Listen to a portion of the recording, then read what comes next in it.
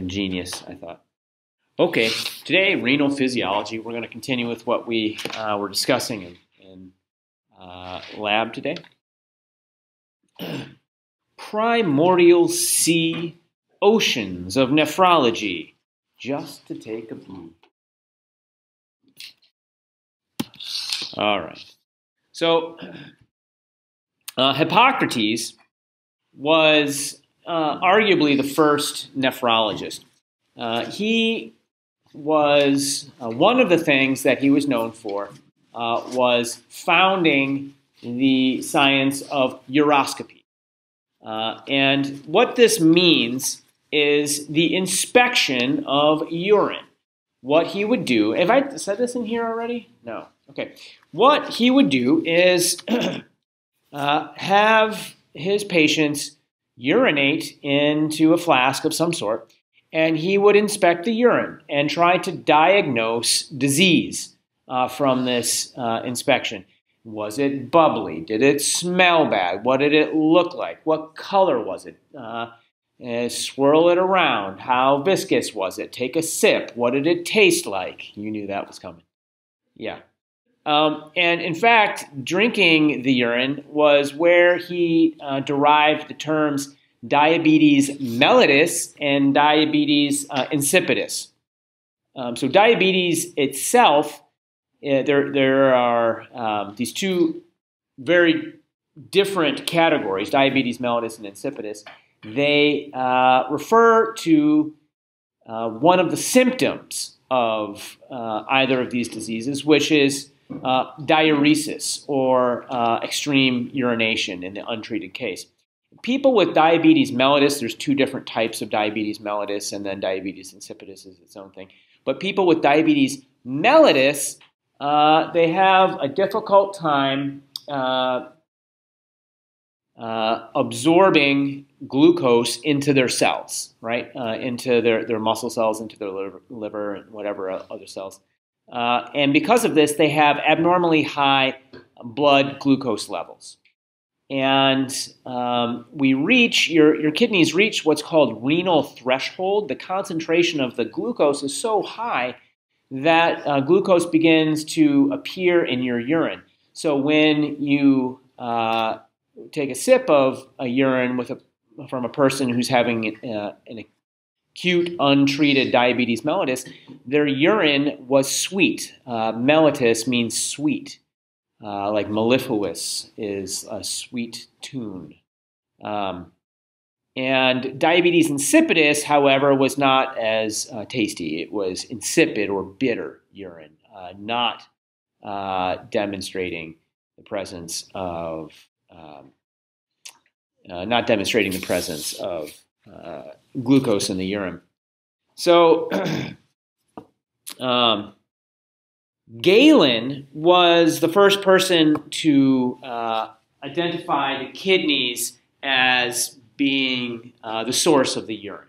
And, you know, I, have talked about how the Romans had this proscription against uh, human dissection or experimentation on humans, uh, which is probably good because this dude was pretty hardcore. Uh, there was no such problem with uh, doing this to animals, and this guy uh, went for it and um, would uh, open up uh, the, the, posterior compartment of apes and clamp their ureters. Clamp their ureters. Watched the kidneys swell uh, from uh, the, the buildup of the urine and then surmised that it was actually the kidneys that were producing the urine. Way to go, Galen. Um, moving uh, forward, uh, I have here a picture of Dr. Uh, no, I have a picture of these, these uroscopists continuing Hippocrates' tradition. So you were ill, whatever was wrong with you, you'd go to a, some sort of doctor in uh, in late medieval uh, and early Renaissance Europe, and they would have you uh, urinate in a flask. They'd look at it and and do the whole business. Uh, this guy named Dr. Thomas Brian uh, blew the whistle on it, though. Uh, I thought this was pretty amusing in his tract that he wrote in 1655 called The Piss Prophet. I'll read it to you, the, the title page here. Wherein are newly discovered the old fallacies, deceit, and juggling of the piss pot science, used by all those, whether quacks or empirics, or other methodical physicians who pretend knowledge of the diseases by the urine in giving judgment of the same. Uh, so he he uh, wipes away the um, the notion that uh, extensive disease can actually be diagnosed by inspecting the urine. And, you know, the truth was somewhere in between.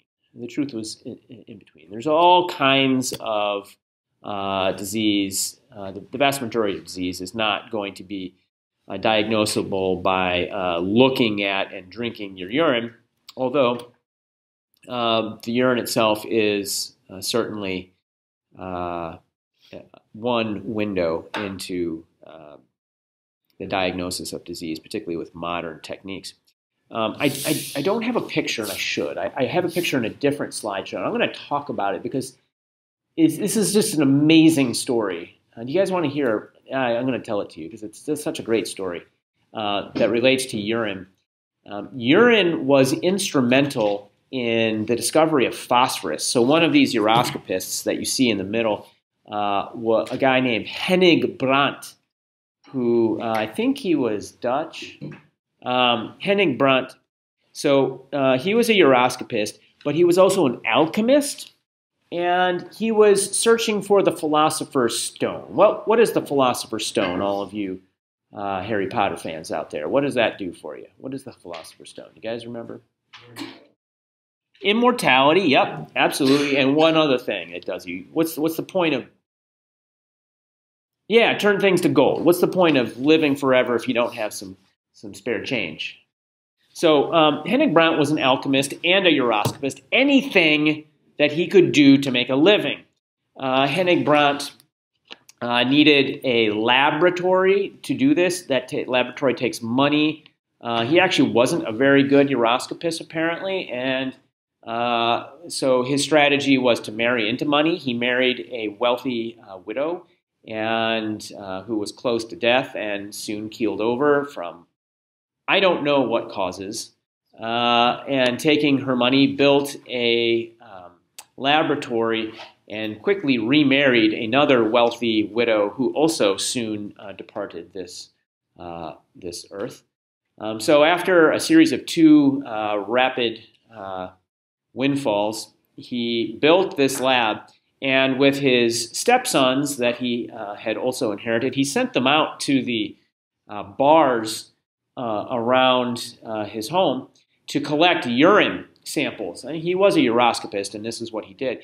He collected uh, 1,500 gallons of urine from drunkards in the bars near his house. 1,500 gallons. Uh, Alan, how big is the pool at Colby? Do you know in gallons? Yeah, it's it, well, hundred. I don't know if it's hundreds of thousands, but it's it's it's pretty large. Fifteen hundred gallons would probably put this room at least knee deep in in urine. All right, uh, and he let the urine uh, become fetid in the basement of his house, uh, uh in his laboratory. Let it become uh, fetid for I don't know a few months, and then he began to boil it down. Um, and so I, I'm, I'm not sure that his stepsons were excited by this. Uh, went through this process of boiling it down. It became this honey uh, syrup, and then like uh, basically flamed it on, uh, kept flaming it out, and, and, eventually boiled it down to this 1,500 gallon uh, uh, vat of putrid urine. Got condensed into like a, a um, golf ball sized wad of glowing white material, which turned out to be uh, white phosphorus. So uh, he was the first person to, uh, and it was glowing because it was phosphorescent, glow in the dark. So he uh, um, discovered phosphorus uh, that way because phosphorus obviously is uh, part of you know nucleotides uh, and, and, other components in the urine, phosphates that are excreted. Uh, we talked about how phosphate was excreted uh, in the urine as part of calcium homeostasis. So there's plenty of phosphorus in your urine. Um, and that led to the advent of matches and explosives, all kinds of other fun stuff. Hennig Brandt, one of these guys. He was one of these guys. Fun story. Uh, all right. This guy, Richard Bright, on the right hand side, you see here, um, he uh, was the first person to identify uh, kidney disease um, in 1827. And uh, he uh, showed that kidney disease uh, was related to proteinuria or the presence of proteins in the urine. Normally, proteins are not present in your urine, but they are there in a damaged nephron or a damaged uh, kidney. And uh, what he called dropsy.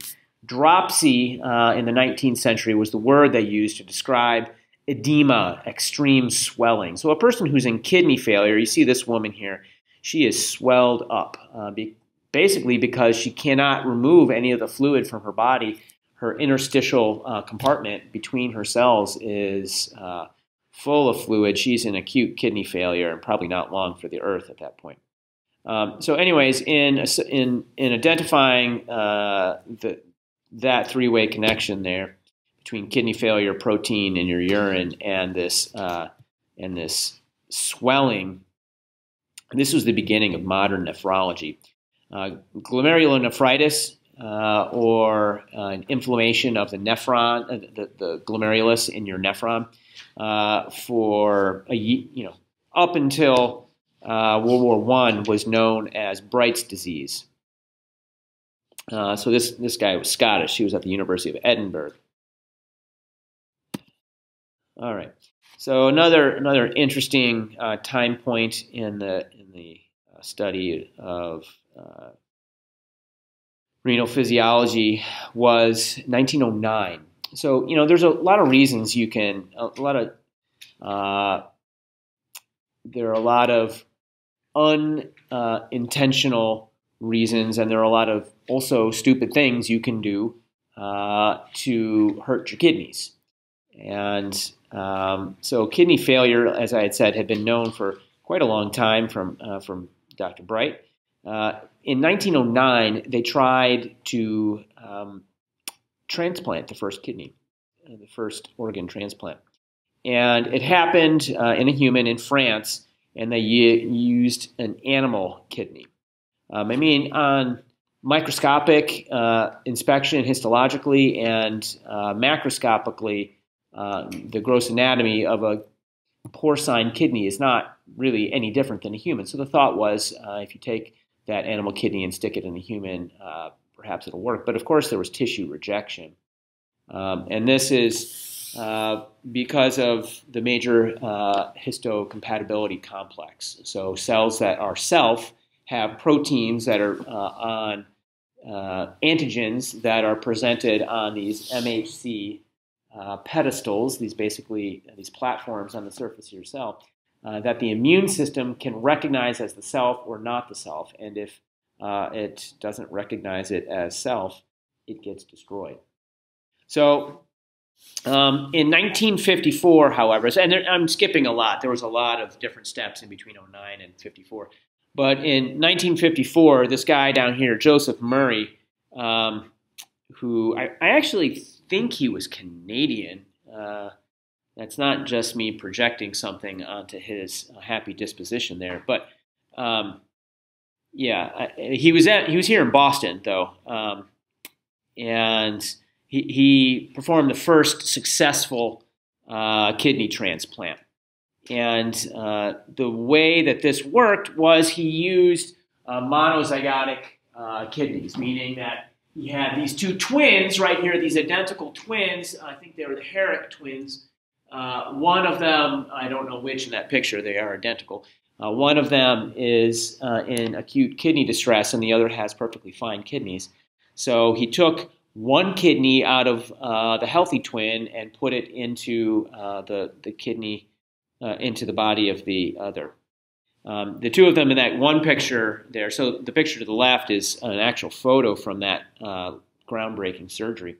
And then uh, picture on the right, uh, upper right hand corner, there's the two of them looking at the first dialysis machine. They were also the first people to try dialysis. Uh, which is a process whereby your blood is removed uh, incrementally from the body, filtered by a machine outside of the body, and then returned uh, to the body. Okay, so that's all the history. Go on and on about that, I guess. Uh, some of the functions, we, we've gone through the anatomy. some of the functions of the urinary system. Well, obviously, it's for excretion, right? The uh, excretion of uh, different waste products. That's the principal uh, purpose of the urinary system. And then elimination of fluid waste, right? So there's storage and elimination of fluid waste, storage in the bladder and, and eventual elimination. Uh, but then importantly, the kidneys are involved in a number of homeostatic processes.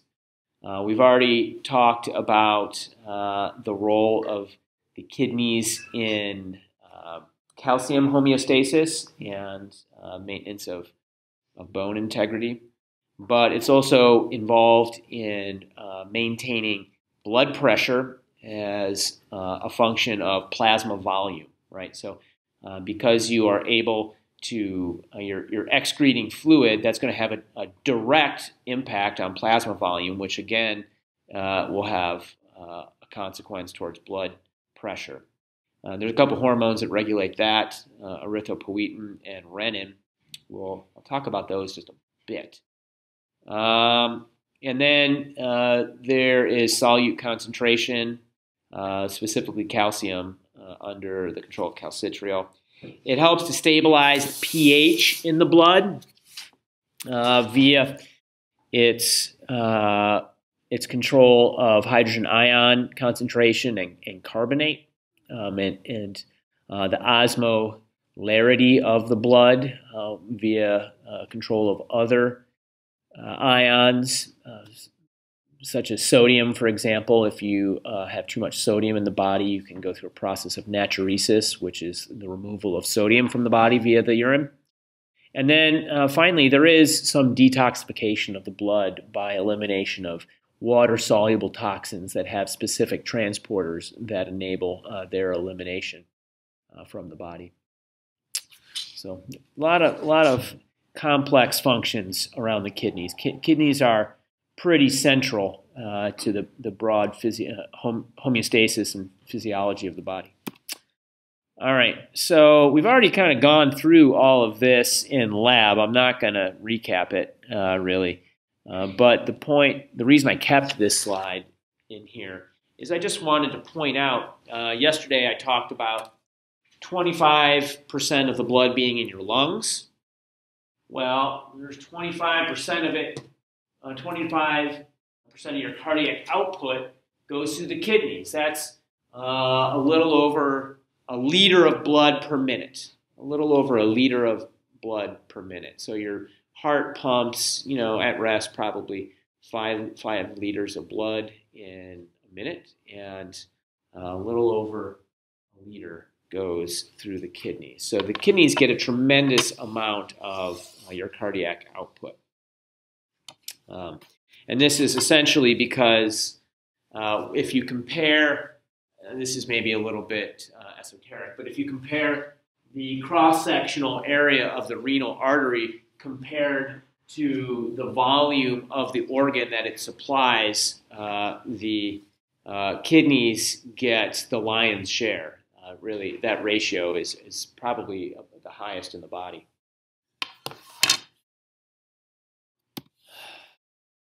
All right.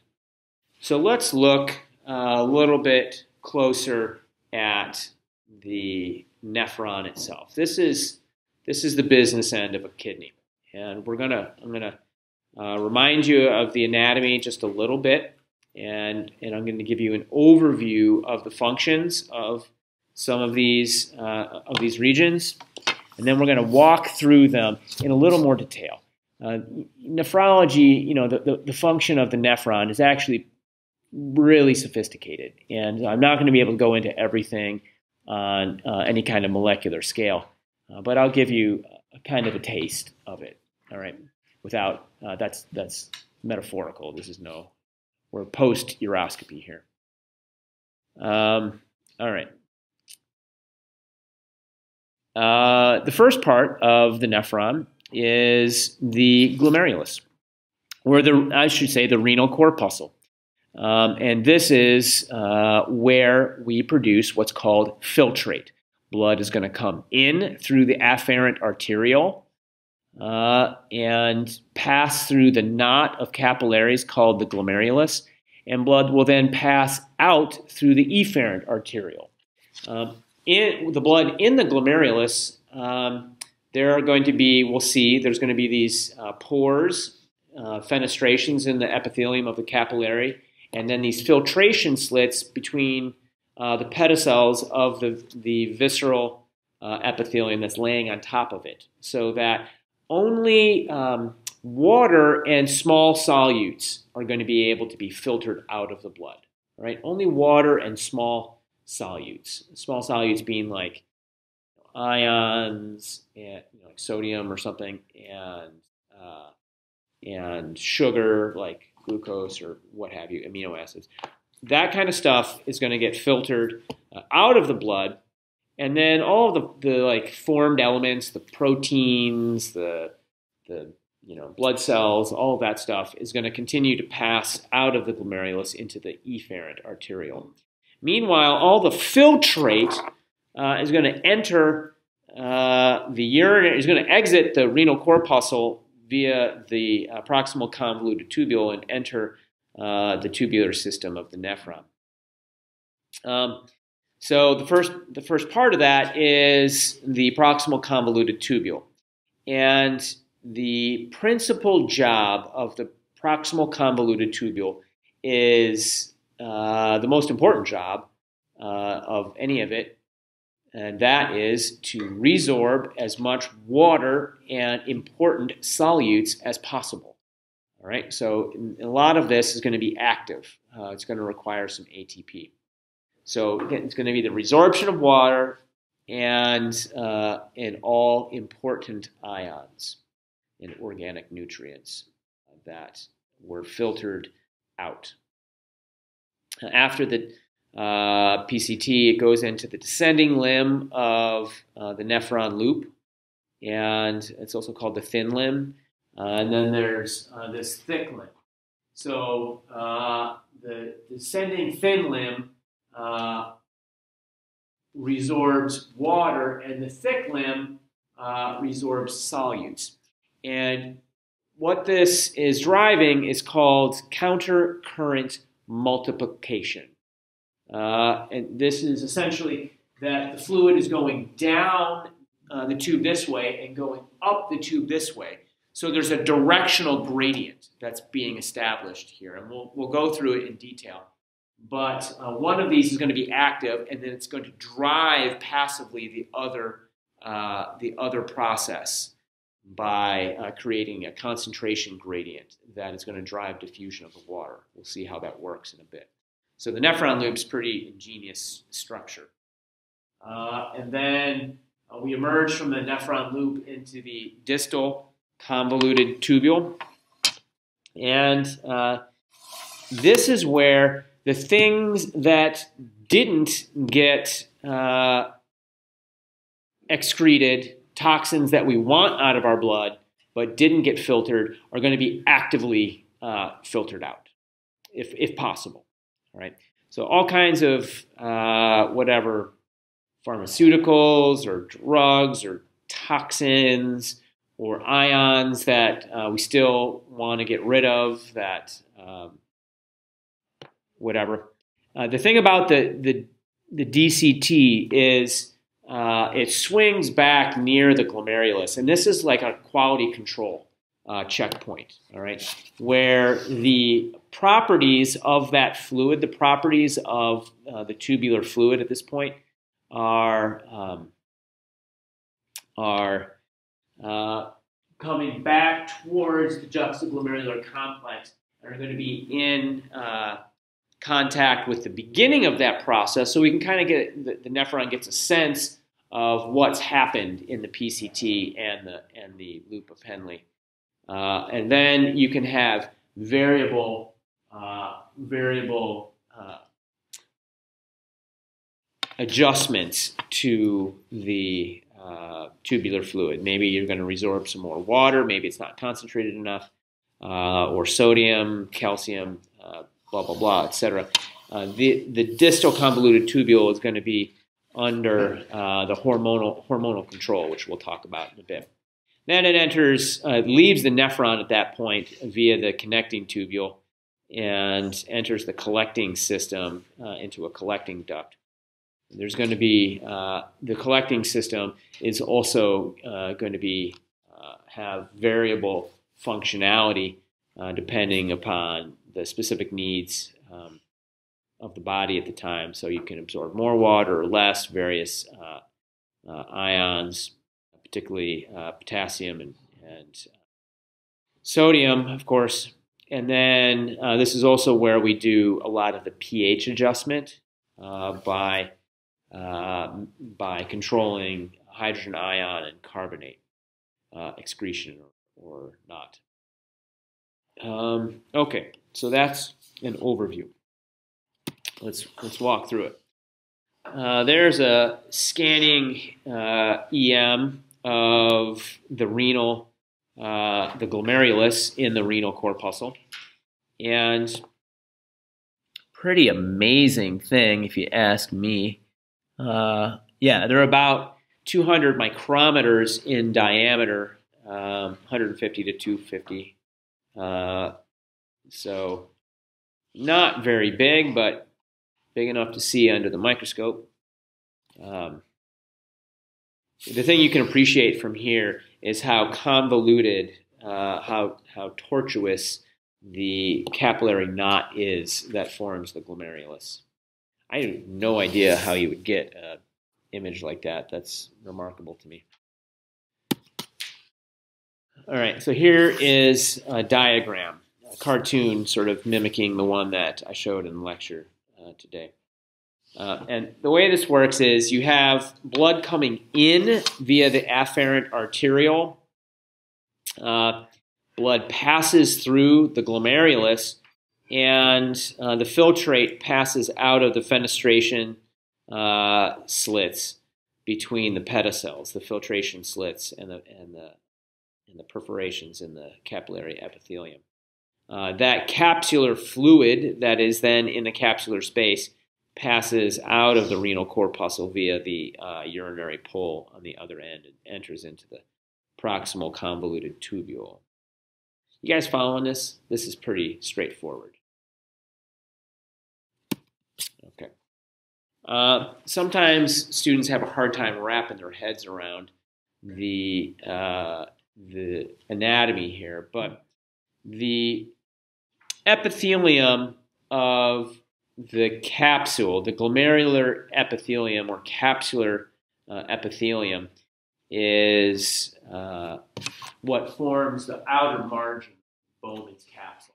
And then right here on the on the uh, vascular pole, uh, it, it sort of merges into this visceral uh, epithelium. Visceral epithelium, or glomer- also known as the glomerular epithelium. And these cells specifically are called podocytes uh, because they have feet on them, like I said in lecture, in lab. And uh, feet of them have little toes called pedicels. The pedicels interdigitate.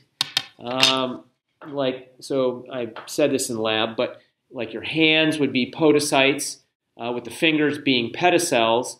And imagine that you were at the beach and you took your hands, you, you interlaced your fingers like this, and you went to the water and scooped up some sand from the water and then lifted it out of the water. The sand would remain in your hand, not be able to pass through the, the slits between your hands, but the water would would find a way through. Okay, and that's that's essentially uh, what we have here.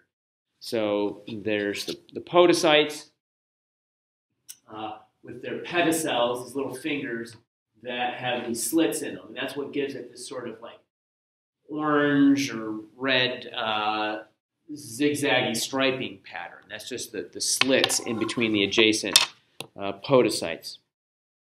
Um, so uh, lastly, if you were to look at a cross section of um, uh, a cross section of these uh, cells, I didn't talk about this anatomy in the lab, but uh, so here we're going to take a cross section and we look at it uh, in between two adjacent. Uh, so here are the, the capillaries, and we see the, the fenestrations, the pores, uh, and then we see this uh, network of pedicels and filtration slits here.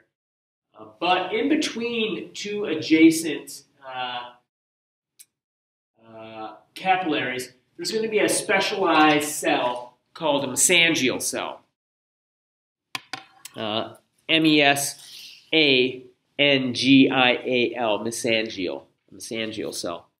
Uh, we'll talk about them in a bit. Mesangial cells are going to be uh, able, uh, through their um, their contraction, to uh, modify the volume, the aperture, the diameter of uh, the capillary inside the, the renal uh, corpuscle, and thus are going to be able to affect the capillary blood flow.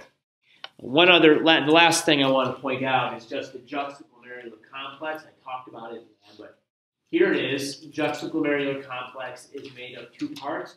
The macula densa is this thicker, denser uh, patch of cells in the distal convoluted tubule that has wrapped itself up here inserted itself between the afferent and efferent arterioles and then the sort of interstitial cells that you see there, which we call juxtaglomerular cells. Uh, I know it's confusing that we have two words that both start with juxta in the kidney uh, that mean kind of different things. Um, there's the juxtamedullary nephron. That's a nephron that's uh, right, is juxtaposed to the uh, to the medulla, and then juxtaglomerular cells, uh, they're juxtaposed to the glomerulus.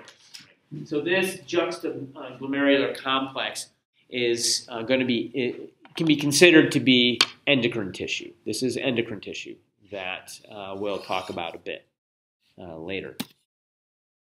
All right, so to uh, belabor the perhaps at this point uh, obvious, but I'm going to talk about how a filter works.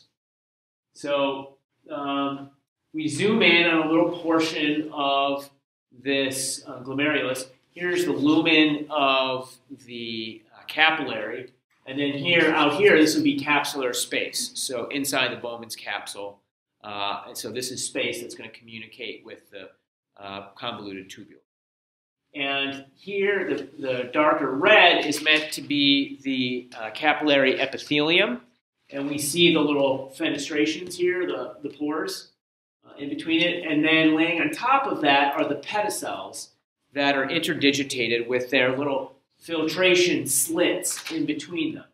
So uh, the way this works is blood comes in, here's a bunch of blood, and water can pass through, and small solids can pass through, but uh, proteins and obviously bigger things like cells, blood cells, are not going to be able to uh, pass out. The overall filtration pressure that it feels is about 10 millimeters of mercury. And we're going to, I think I keep the slide that breaks that down. Um, but that pressure, the, exact value of that pressure is really important.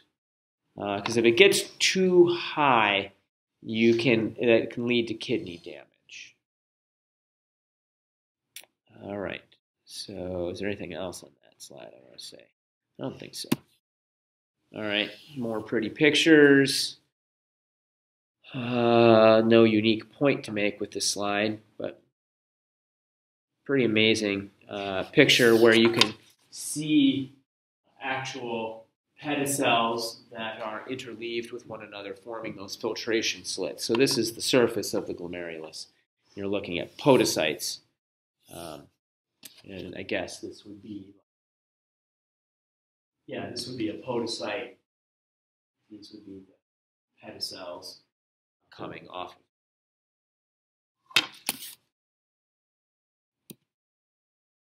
All right, yeah, here are the forces involved. So, um, the blood pressure, uh, the blood hydrostatic pressure that is uh, an average uh, that is in the glomerulus, that's pushing the filtrate out, is about 60 millimeters of mercury. However, it's fighting against a couple uh, of, of uh, contradictory forces. There is uh, the force of the fluid that's already in the capsule, right? So the capsular fluid is about 20 millimeters of mercury. Um, and uh, there, the other force that we're working against is an os- the osmotic pressure of the blood versus uh, the, the filtrate. All right. Because there are a bunch of solutes that cannot pass through the filtration slits, there is going to be a net uh, osmotic pressure of about negative 30 uh, millimeters of mercury, also opposing uh, the direction of the blood flow. All right. So if you add all that up, 60 going one way, 30 and 20 going the other way, uh, there's a net force of about 10 millimeters of mercury uh, heading out um, from the, the, the, capillaries towards the capsular space. Um, if you have uh, too high of a blood pressure, this is going to make what are extremely delicate capillaries prone to rupture. Okay, if you have chronic high blood pressure, uh, your kidneys are uh, you are liable for kidney damage, and you can rupture these uh, glomerular capillaries. Uh, if that happens, you uh, get uh, nephrosclerosis or scarring of the kidneys. Um, and uh, that leads to an it can start an inflammatory cascade that can lead to atherosclerosis of uh, the the renal vasculature. If that happens, uh, you get some you go into kidney failure. You get some pretty unhappy looking. So this is uh, acute nephrosclerosis right here. So you can see that not you can understand why the kidneys not only are important in obviously important uh, in regulating blood pressure uh, in terms of their uh, unique relationship with blood volume and the ability to remove uh, different solutes and, and, fluid from the body, but uh, it, the kidneys are also uniquely prone to abnormalities in the blood pressure. Okay. So um, the amount of uh, filtrate that you're going to produce is uh, dependent on, on, what's called the glomerular filtration rate. All right, and there are a, a few different ways we can control this glomerular filtration rate. Uh, there's uh, an auto regulation, a local uh, auto regulation it can also be uh, under either endocrine or neuronal control. So if it's under uh, endocrine control, there's uh, a number of uh, hormones that are going to be called into play. This um, control is initiated by the, the kidneys. And then if it's neuronal control, it's obviously uh, autonomics. You don't think to yourself uh, volitionally that, oh, wow, I, I, need to produce more urine, uh, better wake the kidneys up. That is a part of the sympathetic uh, innervation to the kidneys. So, three, three ways there's uh, a an autoregulatory uh, local mechanism, and then a uh, endocrine and a sympathetic ANS uh, mode of control. And though I mean these, this paradigm is pretty standard, right? For a lot of different organs, you're going to see this same uh, the same pattern. All right, so um, let's talk about the juxtaglomerular complex and uh, the protein, the, the, hormones that are going to be uh, produced by it. Uh, and I already had mentioned that the juxtaglomerular complex is a uh, endocrine structure. Uh, the first one that uh, can be produced by uh, the juxtaglomerular complex is erythropoietin.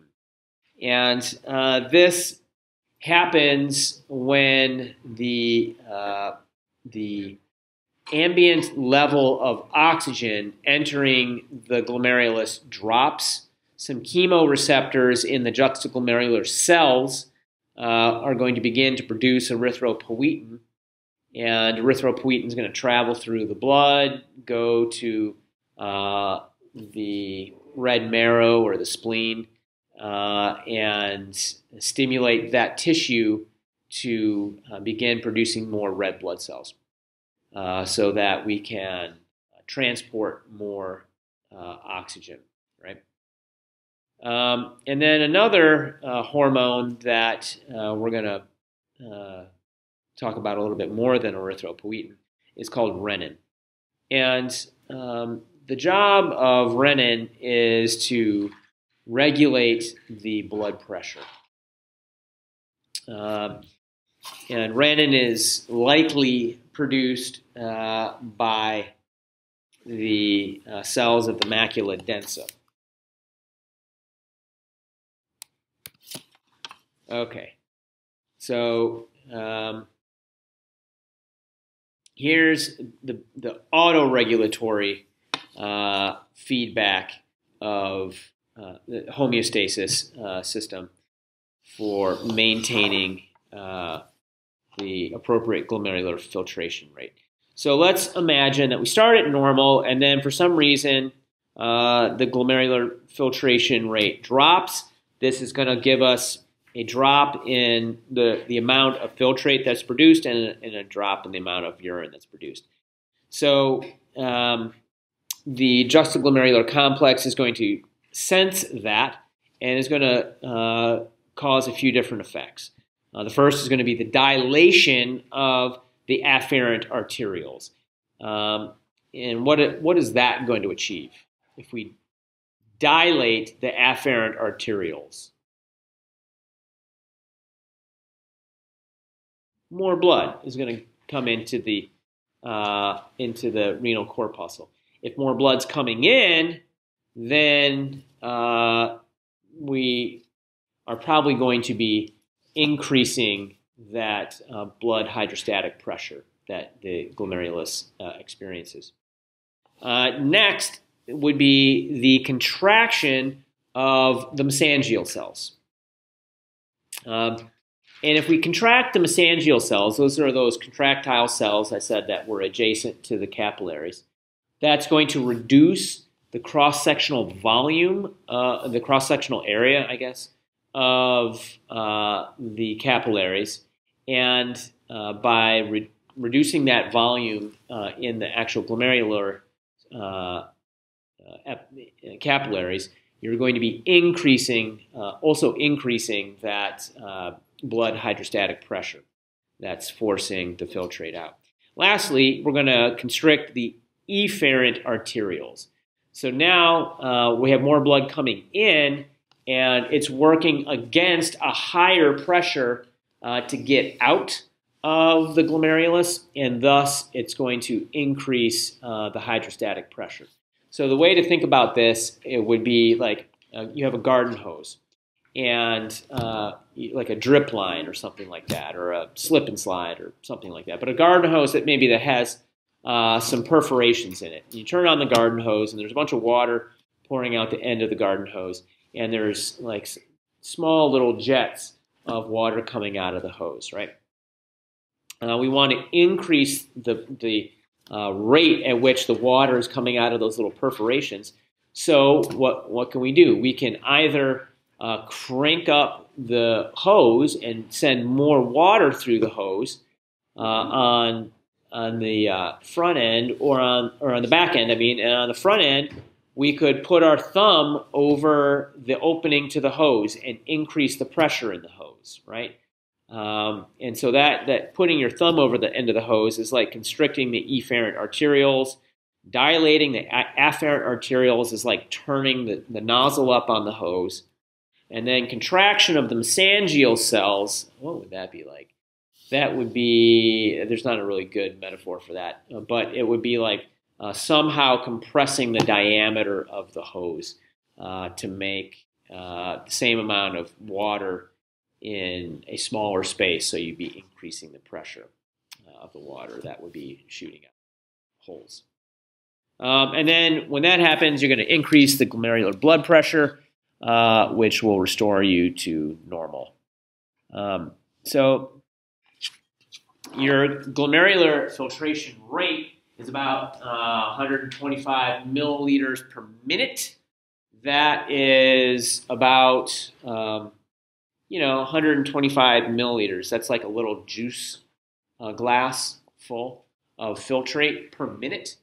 Um, so that ends up being 100 80 liters per day. You guys remember how many liters of serum I said were in your body? Like three, right? Not not that much serum in your body. So your uh, kidneys filter 180 liters per day. Um, obviously, if we didn't uh, resorb that somehow, we, we would quickly die.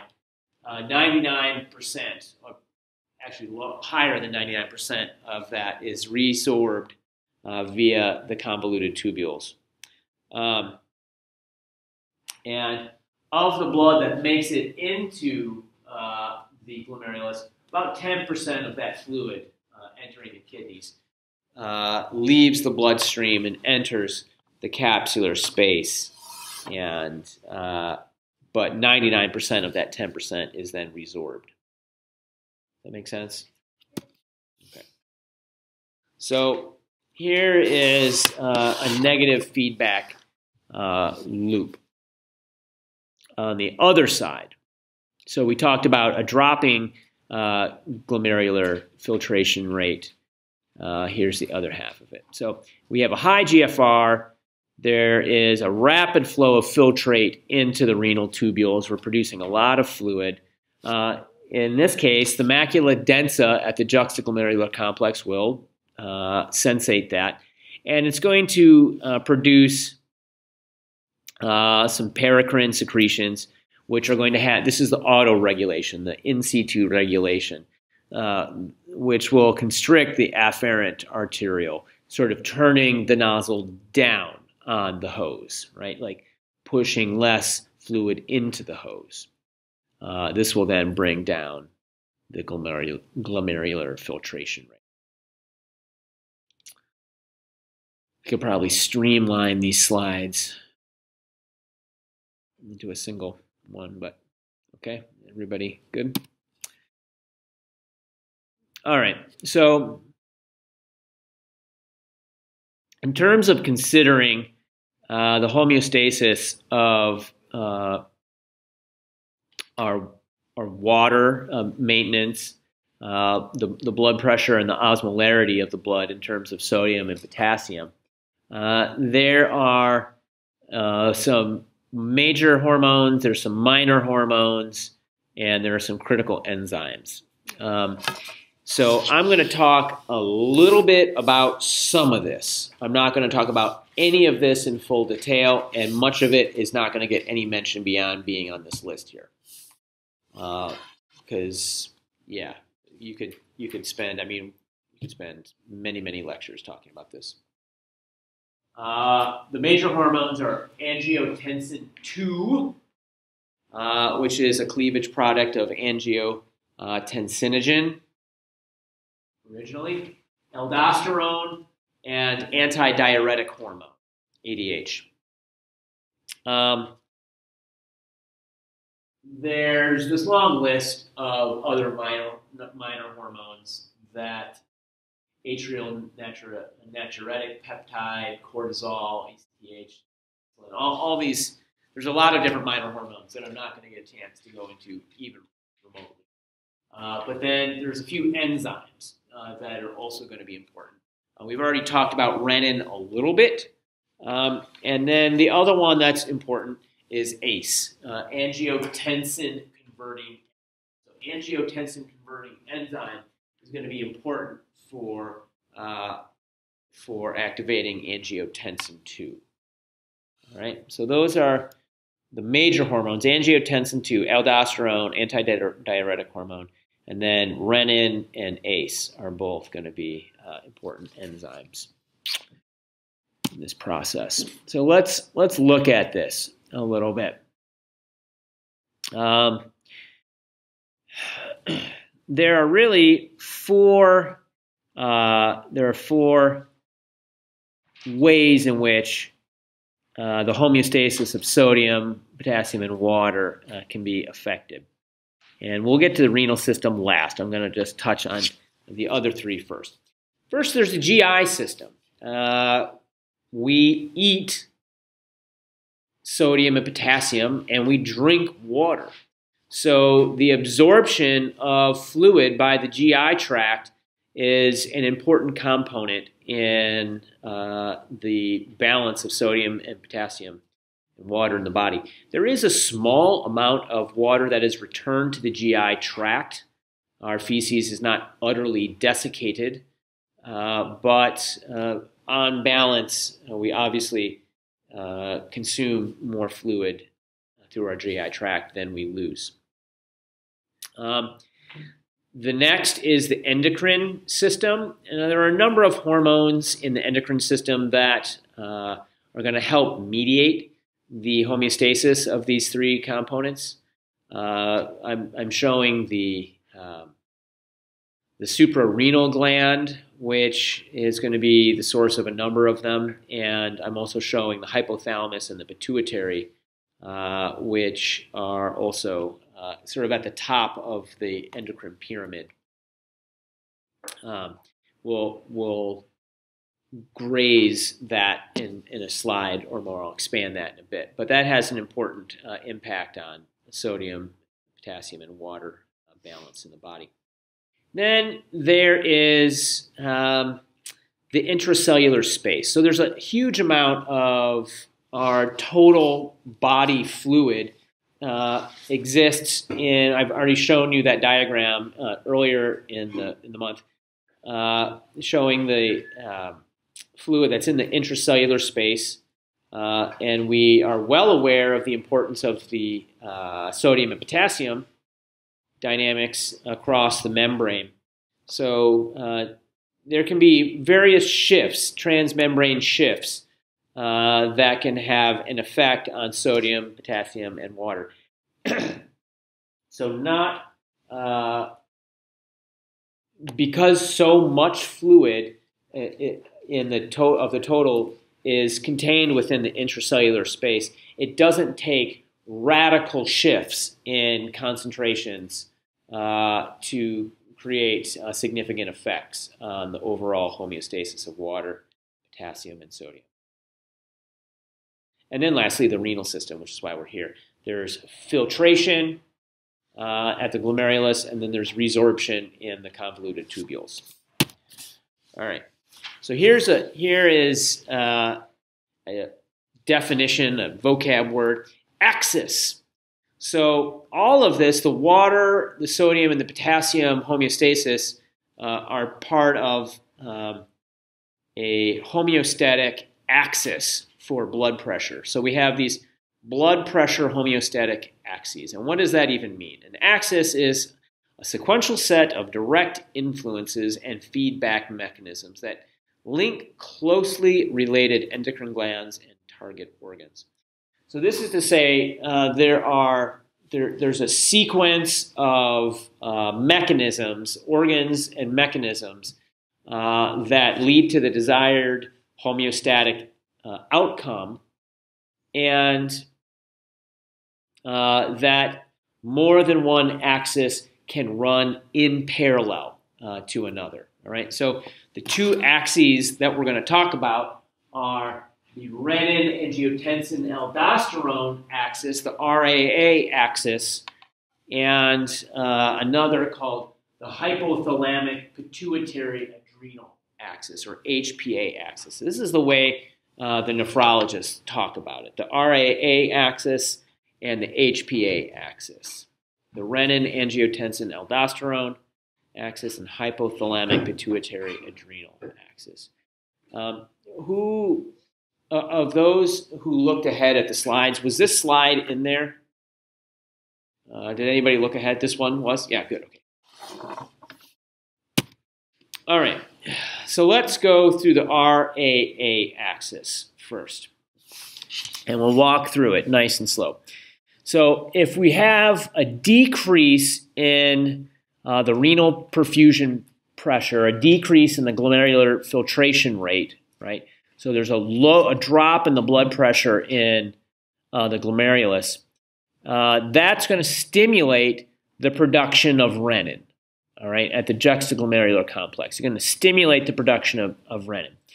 Renin, uh, so there's a protein called angiotensinogen. Uh, it's what's called a zymogen. I've used that word be- before here. Um, it's it's just a uh, it's a precursor, a non-active uh, precursor. So renin uh, converts angiotensinogen to angiotensin 1. Um, angiotensin 1 circulates through the body, ends up at uh, the lungs, which produce uh, ACE, the angio, angiotensin converting enzyme. ACE then turns angiotensin 1 into angiotensin 2. Uh, angiotensin 2 is uh, going to circulate through the body uh, and lead to the production of aldosterone in various endocrine tissues. All right, so all of this, this RAA axis, is simply a drop in the blood pressure in the glomerulus leads to renin. Renin converts, uh, activates, leads to a, a, series of things that activates uh, angiotensin, which then leads to the production of aldosterone. The, what we're looking for is aldosterone. All right? And uh, angiotensin converting enzyme is, is part of that. You guys see this cascade that we, we have here, the, the axis.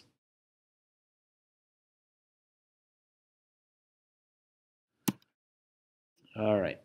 So let's let's look at it, this is kind of the same thing, but a little, a few more details have been added, and we've and we've closed the homeostatic loop in this diagram. So we're going to start by um, disturbing the glomerular filtration rate. We're going to reduce the renal perfusion pressure. So there's going to be a, a drop in the blood pressure uh, at the glomerulus, um, could be due to a drop in blood volume or a drop in systemic blood pressure, or maybe your renal artery's been blocked. That's a problem. Um, and uh, maybe there's a drop in the osmotic concentration of the tubular fluid at the mac- macula densa. All these things uh, can lead to this uh, disturbance in uh, homeostasis. So that's going to lead to the release of renin through the action of the what? What is it that uh, is going to notice that there's a problem and, and lead to the production of renin? Yeah. So I'm sorry. I, am trying to keep you guys on the toes because I see, I feel like I drone on about it. But so we have renin that's getting produced in response to a drop in the glomerular filtration rate, what part of the kidney is doing that? The juxtaglomerular complex. So uh, renin gets released. There can be other things that lead to it, however. We can have, I said that there was, uh, there was autonomic input that can, so neuronal input, we can have uh, sympathetic uh, input that can stimulate the release of renin. Um, renin is going to uh, go through uh, that, it's going to initiate that RAA axis cascade, which leads to the activation of angiotensin. Uh, and there's going to be a series of uh, things. There's actually probably a bunch of arrows here that leads to the elevation of blood pressure and blood volume. So let's look at uh, those series of arrows uh, on this side.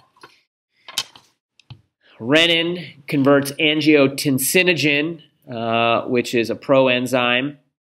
Uh, that's what says there. It's 453 amino acids long. It gets uh, cleaved into the business portion, which is only 10 amino acids long. It's really a peptide. Uh, it's it's a, a, bioactive peptide that uh, is then going to have two more uh, regulatory amino acids cleaved off by uh, ACE at the lungs, the angiotensin converting enzyme at the lungs. So angiotensin 2 is going to have a number of effects, and this is, this is the thing. So the first thing it's going to do is affect the hypothalamus, uh, which is going to make you thirsty.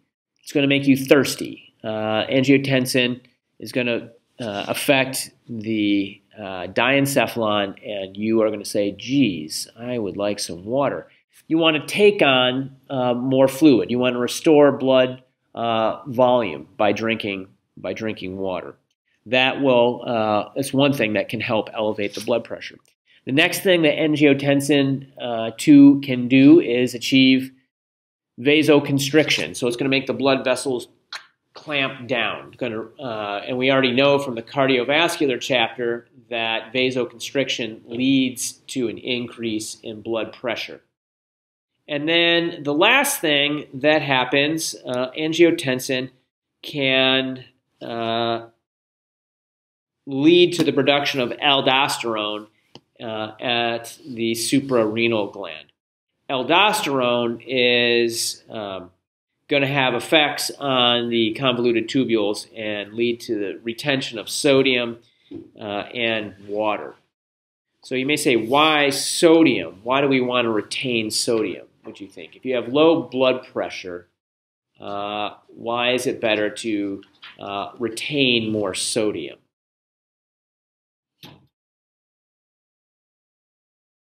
Yeah, yeah. If you have more sodium on board, uh, there's going to be an osmotic pressure that's going to drive water back into the body. Good. Um, okay. You guys follow all that? Okay, good. Um, so here is uh, how this uh, plays out uh, on a piece by piece basis in the actual nephron.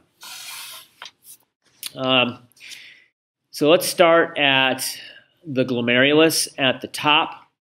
Um, we're going to have a drop in the renal blood pressure, uh, the perfusion pressure. That's going to uh, lead the juxtaglomerular cells uh, to produce renin. Um, and then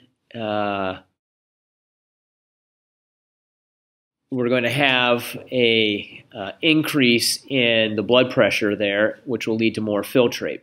Then, uh, in the proximal convoluted tubules, angiotensin, uh, angiotensin 2 will stimulate an increase in the resorption of sodium and carbonate. All right, so this is going to, like uh, Maria uh, pointed out, this is going to lead to an increase in osmotic pressure, drawing water back into the body and uh, shoring up the blood pressure. Then, um, where, some other hormonal effects? Okay, yeah, down in the collecting duct is where we have the effects of aldosterone. So aldosterone is going to cause a, uh, a uh, exchange, an anti-transport uh, of sodium for potassium. We're going to export potassium and import uh, sodium. And uh, and then likewise, the uh, we're going to export uh, hydrogen ions and then reclaim that potassium that we lost uh, in uh, the other cells. So the specific names of the cells, the principal cells and the intercalated cells, you don't need to know uh, those names, but there are different types of cells in the collecting system. And essentially, what we're what we're doing, aldosterone, is alkalizing the blood, uh, and in so doing, uh, trying to maintain uh, uh, sodium and potassium levels. It's exporting uh, hydrogen ion. All right, so this will lead to an increase in sodium at the proximal convoluted tubule, and because of that, an increase in water resorption and, and blood pressure. And it's also going to uh, alkalize the blood and uh, make the serum pH go up. So that's the ultimate outcome of the RAA axis. All right. I haven't talked about the HPA axis yet at all, but uh, I want to talk a little bit about uh, the loop of Henle and this whole idea of counter current multiplication. Um, so this is pretty interesting how this works, I think. Um, as the, uh, it, you know, I, I, talk about it, I guess, from the perspective of the uh, flow of urine, but it may make more sense to talk about it backwards uh, starting from the thick uh, ascending limb. So what happens over here is there are active transport. There are active transport uh, proteins that are burning ATP uh, and exporting sodium chloride. So we keep a net charge neutrality. It's both sodium and chloride. And, and as it exports the sodium chloride, it creates a concentration gradient concentration gradient throughout the tissue of the medulla. That concentration gradient drives the passive process of osmosis in the descending limb. So we're, we're paying, we're getting two for the price of one. We're paying to resorb uh, the sodium chloride, but as a consequence, the water is passively following uh, on, the, on the descending because we're creating a, a concentration uh, gradient through the tissue. Does that make sense?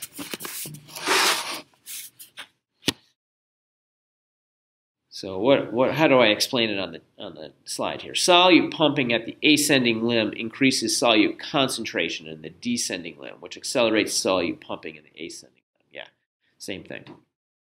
Okay. Um, this is extremely effective. This is extremely effective. Uh, this, in particular, the loop of Henle. Uh, the number that they that I, I, found was that only about 15 to 20 percent of the initial volume of that filtrate that you're going to find at the glomerulus is able to make it past this.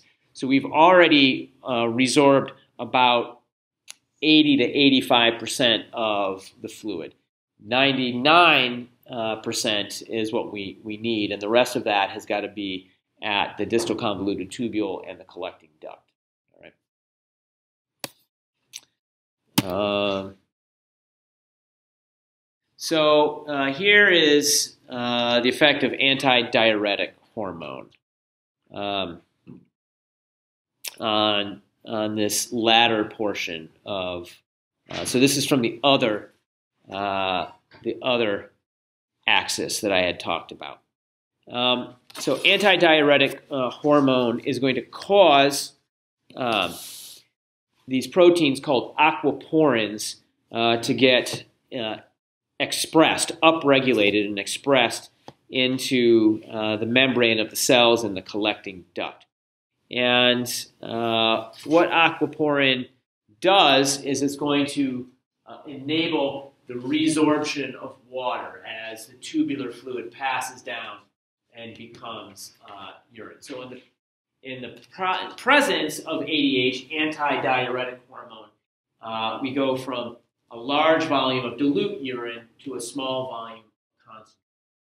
So here's uh, the, the process I just described of countercurrent multiplication. That's not actually what I'm talking about here. What I'm talking about is in the uh, distal convoluted tubule and the collecting duct, the presence of antidiuretic uh, enables these aquaporins to help resorb more water.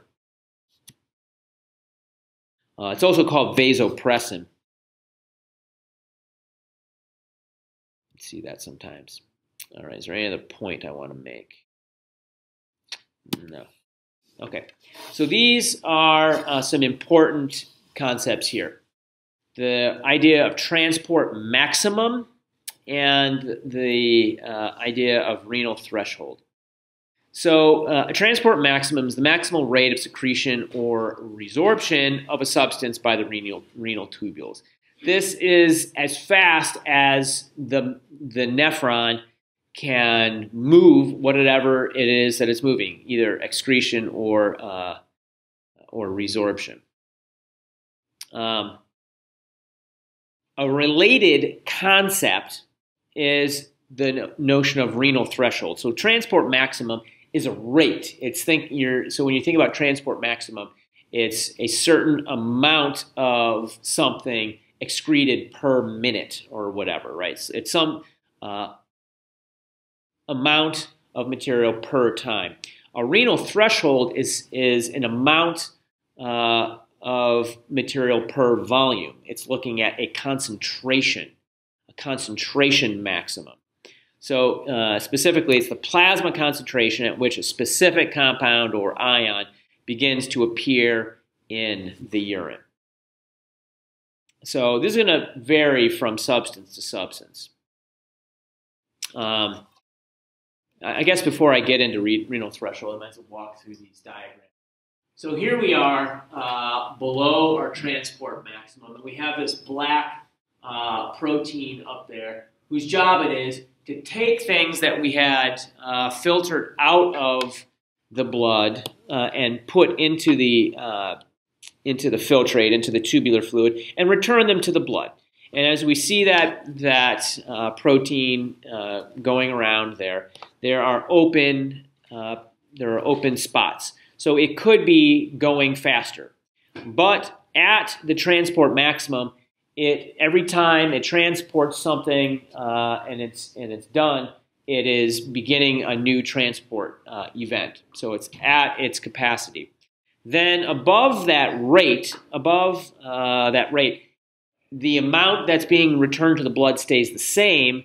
But if there's a higher concentration in the blood, then we're going to uh, start to see the presence of some of that solute in the urine. Uh, and this happens in both directions. So there can be resorption in the top panels or secretion in the bottom panel. Um, right. So when you want to think about this in terms of what are the actual concentrations uh, that are going to lead uh, to uh, exceeding the transport max of uh, whatever, um, this is the renal threshold. And that renal threshold is going to vary depending upon the solute. All right, so glucose, for example, has 180 milligrams per deciliter. Uh, and uh, if you exceed that, if your blood glucose level is above 180, you get glycosuria. And uh, if that is the case, you maybe have diabetes mellitus, right? If that's the case, then uh, we're right here, and glucose is beginning to appear in the urine, right? So that would be uh, perhaps this concentration here would be 180 milligrams per deciliter if we were talking about uh, glucose, or it would be 65 milligrams per deciliter if we were talking about most amino acids. So every amino acid is going to have a little bit different one because there are specific uh, transporters for different amino acids. Um, so amino acid, if you have a really protein-rich meal, so for example, you are paleo and you're you're going to eat, uh, you know, some steak and egg whites for for dinner or whatever, uh, and nothing else, you can have uh, you can have a bit of a spike in amino acids in your blood, uh, and you exceed your transport maximum, exceed your renal threshold for that uh, for those amino acids. You go into what's called amino acid uria. Uh, it just means that you have amino acids appearing uh, in your urine. This is actually fairly common. The last word here that uh, I've, I've, used it once already today is natriuresis. That is just uh, what happens when you have the appearance of sodium in your urine. All right. You guys get the idea of transport maximum and renal threshold? Yeah? No? Anyone? Okay. All right. So this is uh, kind of synthesizing a lot of this uh, into a single slide. Um, so we have, uh, we're trying to maintain the homeostasis of sodium, potassium, and water, which is going to maintain our, our blood pressure. And I talked about the role of the GI tract in absorbing sodium, potassium, and water. That is uh, going to be bolstering uh, each of those three components of the blood. The intracellular space, uh, likewise, uh, is going to be exchanging, and different types of hormones that I'm not going to go into, uh, various catecholamines, the insulin, the effect of insulin on the, on, uh, on the cells, uh, can affect the, can, can change the effect of the fluid and the osmolytes in the intracellular space. And then lastly, here's the kidney. And the relationship of the kidney uh, with the blood pressure is a little complex, uh, as we've already seen. So uh, there is sodium, potassium, and water that is getting filtered out of the blood at the glomerulus in the kidney. All right, so that, that's, that's this process, glomerular filtration is coming out. Um, and some of that is going to pass into the urine. But each of those three things uh, is going to get resorbed to the, into the blood at variable rates uh, and under the control of different things. So first, let's consider uh, sodium. Uh, these natriuretic peptides that are produced by the heart, we don't need to worry about that too much, but that's going to slow down uh, the resorption of sodium but a number of things are going to uh, speed it up, and that's angiotensin 2. Uh, we talked about uh, that in the proximal convoluted tubule earlier. And then the effects of aldosterone and sometimes cortisol will also uh, accelerate the resorption of sodium in the distal. Uh, then considering uh, potassium, aldosterone actually is going to slow resorption of potassium down. Uh, but these two can also uh, indirectly affect potassium, uh, I'm sorry, water resorption based upon uh, their effect, direct effect on sodium. So water is going to follow the sodium, which is under the control of these two hormones. And then lastly, uh, antidiuretic hormone has a direct effect, not an indirect effect, but has a direct effect on the absorption of water uh, by the production of the aquaporins that I showed you in that slide. All right, so this is, there's nothing new in this slide. This is just taking everything I've talked about so far today and sticking it uh, kind of on one slide for you. You guys following me? Whose, whose brains are leaking out their ears? Everybody good? No? A little bit? Um, okay. Yeah complicated stuff. Keep the kidneys till the end because it's a lot. Uh, another summary slide. Uh, this is another summary slide, but we're looking at it this time from the perspective of the uh, of the nephron. So uh, the blood enters the, the glomerulus. We get the filtration of the blood and the production of the tubular fluid which is going to go through the proximal convoluted tubule. We're going to resorb nutrients, resorb uh, water, It's going to go into the uh, descending and then ascending limb of the loop of Henle.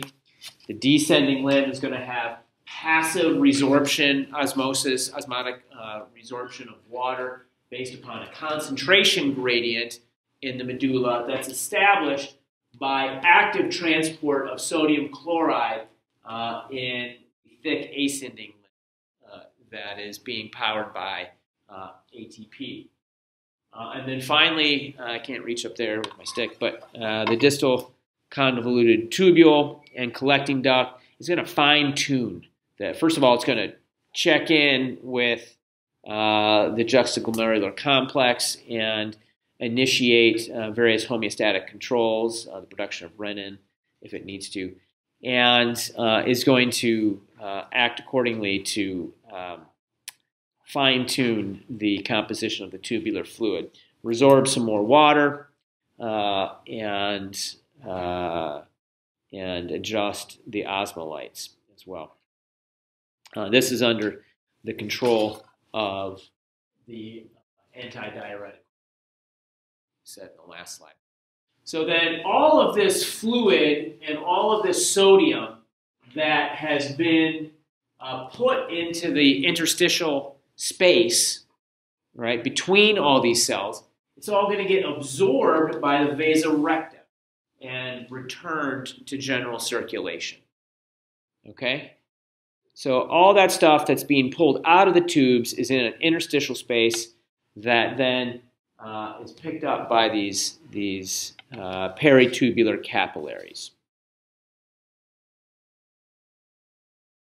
Yeah. Okay. We're getting close. So I'm going to let you guys out a little early today.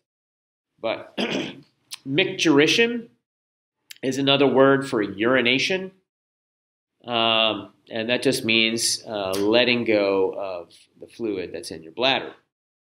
Uh, diuresis um, is micturition on a grand scale. So diuresis uh, um, denotes a larger volume of uh, urine production. And diuretics are um, compounds that are going to stimulate uh, diuresis.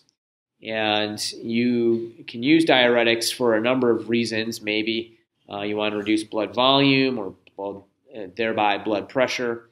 Uh, maybe there's uh, extracellular fluid or interstitial fluid volume that needs to be uh, re- reduced for some reason. Uh, these diuretics can achieve that. Um, there's a lot of different diuretics. there's it's a huge huge category of compounds with a lot of subcategories. Uh, and typically, uh, there's the way they're categorized is not structurally or exactly the mode of action, but it's uh, it's more anatomically, like what part of the nephron are they targeting? So I put a couple examples up there. Uh, there's furosemide uh, is a loop diuretic, and then torsemide is also a loop diuretic. And if you look, these two um, molecules do have some structural similarities. Uh, they have some structural similarities to them. Uh, but then here is a totally different, uh, a totally different diuretic. It's an aldosterone agonist, an aldosterone uh, mimetic called uh, spironolactone. Spironolactone. And that is a uh, hormone structure that is you just looking at that you could probably guess that that's based originally on cholesterol right you take cholesterol and you modify it you get that thing uh, aldosterone does not look tremendously dissimilar from that okay um, so we've talked about wastes a little bit, and I wasn't going to talk about this slide, and then this morning I decided I would talk about it it's, uh, it's good just to see what we're talking about. Um, there are really four types of nitrogenous wastes that you're going to find in your body. and we will talk about nitrogen balance a little bit tomorrow. Nitrogen balance being, uh, I guess tomorrow is my last real uh, data lecture that I'm giving you guys. But uh, nitrogen balance is really the nitrogen you take in versus the nitrogen you excrete. Right? The nitrogen you excrete is uh, takes one of these four forms, and um, they can either be ammonia or urea. Uh, and either of those things uh, comes from the breakdown of amino acids, which are, of course, from proteins.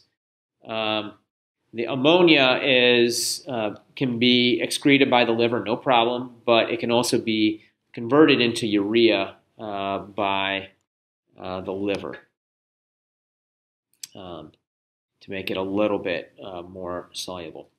On the other hand, the other source of nitrogen that we find in the body is in the nucleic acids. Uh, so sometimes you need to break nucleic acids down, and um, the catabolism of nucleic acids will give you either uric acid or uh, uh, creatinine, and uh, which can come from the creatine phosphate catabolism. So those are the, the major sources of nitrogen that you're going to find in your urine. Um, all right.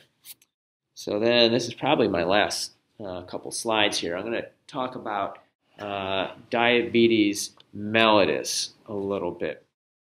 Uh, I'm not going to go into this in depth. Uh, we, we could certainly have a whole, again, a whole lecture on this. But uh, type 1 diabetes is much less common.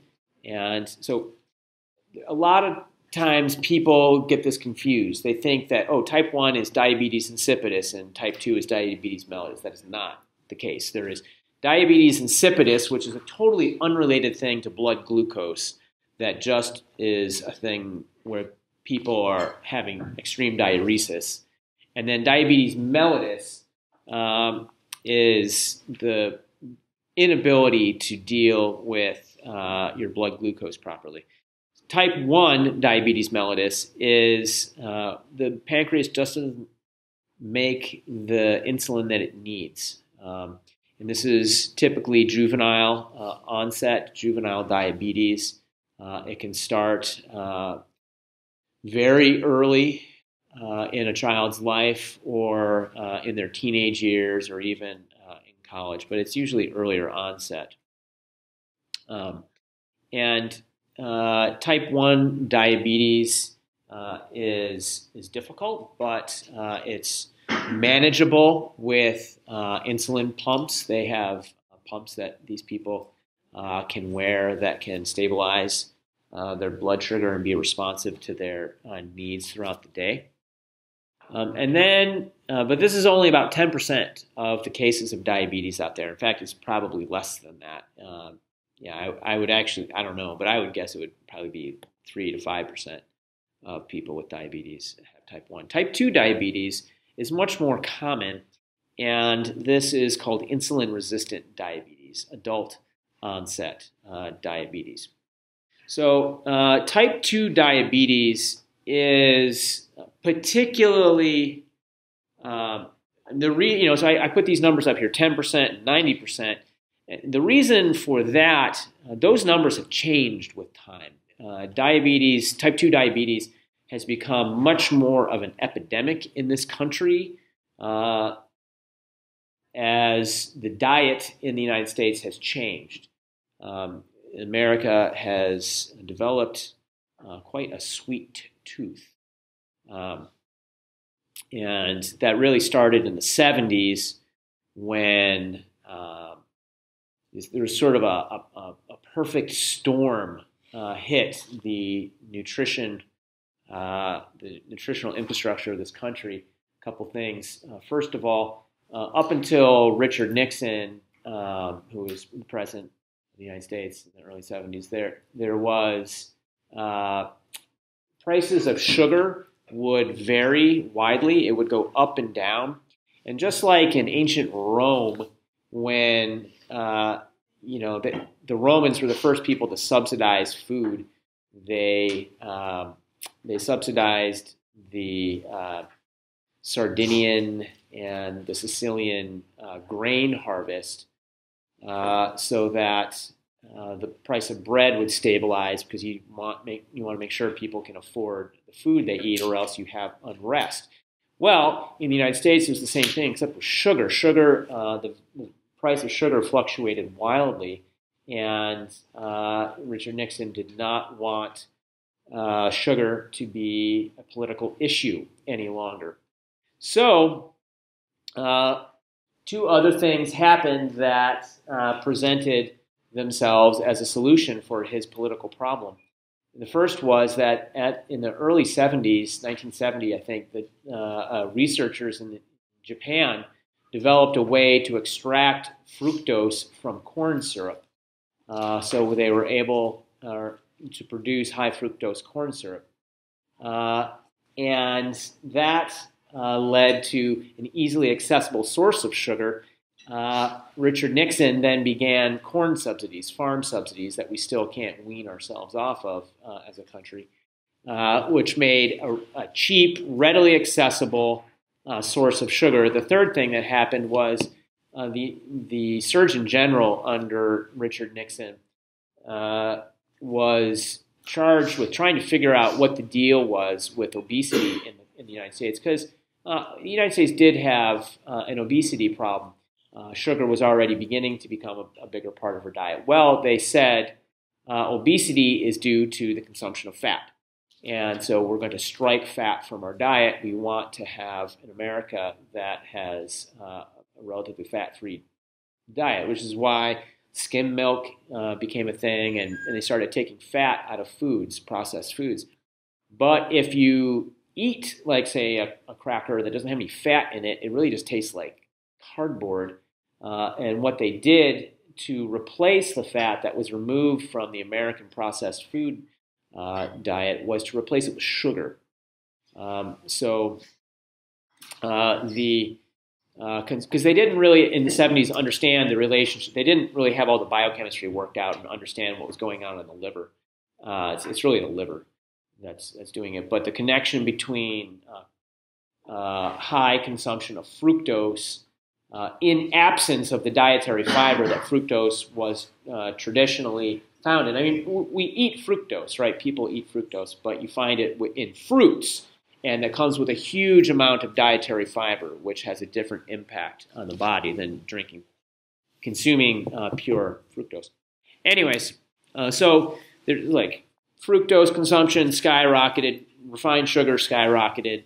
Uh, and diabetes mellitus skyrocketed, uh, metabolic syndrome skyrocketed, obesity, cancer, all kinds of fun things. No, not fun at all. Uh, so, if you do have diabetes mellitus, uh, there are uh, a lot of, uh, you're at higher risk of, of a number of different health uh, problems. You have a two to four times risk of ischemic heart disease and stroke. Uh, that you know is a chicken and the egg thing. There are those running together as a larger uh, suite of uh, symptoms and metabolic syndrome. Uh, people who have unmanaged type 2 diabetes are at a much higher risk of uh, limb amputations than the general population. Um, you also have a lot of peripheral peripheral vascular disease because of what's called glycation, which is an interesting story. I'm not going to tell you uh, about uh, due to the high level of sugar in your blood. But that leads to uh, blindness and hearing loss and, and kidney failure. Um, and these people, again, because of their peripheral vascular problems, they have dementia, they have impotency, impotent, impotency, sexual dysfunction, um, and then and they and they die young. So uh, it's it's a real health problem that needs to be dealt with. Uh, there is this thing, uh, gestational diabetes. So uh, this is a real thing for uh, to think of uh, for for women. about one in twenty to one in ten pregnancies, the women um, develop some degree of diabetes during their pregnancy. Pregnancy uh, potentiates this, and and often it resolves itself after uh, po- postpartum, after the baby is born, uh, but it can uh, it can persist. Uh, it's more likely to persist in subsequent uh, subsequent pregnancies. So diabetes mellitus, yeah, interesting. Not going to get a chance to talk about it that much, except I like the numbers. Numbers. Um, here is uh, some admittedly old. I need to uh, update some of these uh, statistics here, but uh, 25.8 million children and adults in the U.S. have diabetes. That's 8.3% of the population. It's 8.3% of the population. It's a lot. That's one. Uh, it's about one in 12 people, right there. Um, and 18.8 million uh, are diagnosed. They estimate that there's 7 million undiagnosed. But this is what is truly frightening. There are 79 million uh, people who are estimated to be pre diabetic. Um, so that means people who have risk factors that are showing uh, uh, reduced glucose sensitivity. Um, anyways, so uh, 1.9 million new cases diagnosed in people aged 20 years and older in 2010. This has a tremendous economic uh, impact on the United States. 218 billion dollar cost, 218 billion dollar cost in the United States alone. That's a lot of money, folks. That's a huge amount of, of money. I mean, our GDP is only 19 trillion or whatever. So, I mean, that's a significant percentage of the, of the GDP of the United States. Um, and uh, in, so globally, in 1985, there were 30 million people, uh, and now, and, well, not now, I guess 10 years ago, uh, there were 285 million. So not only is this an American problem, but America is exporting this problem. America is exporting this problem uh, in terms of the American diet. Um, so uh, it's really uh, not just a problem uh, of economic here, but it's uh, an economic impact on broad swaths of, the world. So, um, yeah, the world average was 28.23 uh, percent. The prevalence of diabetes worldwide in 2000 per thousand inhabitants uh, was uh, 28. I guess that's no per 1,000 confused as to what that statistic means there. But uh, I think that's all I have to say. Are there any comments, thoughts, meditations? Okay.